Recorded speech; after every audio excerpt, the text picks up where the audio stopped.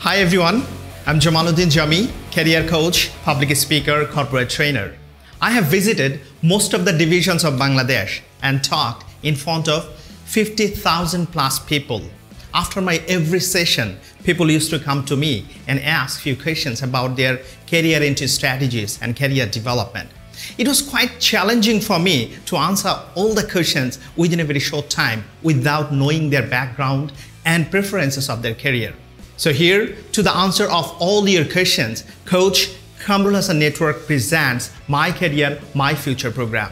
We'll be working together to answer all your questions. We'll be working on how you can set your career into strategies, how you can develop your employability skills, and finally land your dream job. So, if you want to know details, stay tuned with Coach Kamrul Network present My Career, My Future program.